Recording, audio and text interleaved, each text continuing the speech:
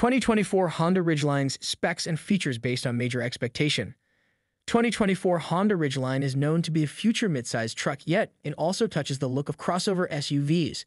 The current model might be inspired by the Ford Ranger, Toyota Tacoma, and Jeep Gladiator, as well as Chevrolet Colorado. However, the 2024 Honda Ridgeline will be precise, offering the upscale interior and complete safety features for an excellent ride. The Ridgeline is notably constructed on a unibody platform, crew cab configuration, a single engine option, and transverse engine. Designed and engineered by R&D America's engineering team, the Ridgeline was launched firstly in the beginning of 2005. Read complete about this on carsjade.com, link in description and comments.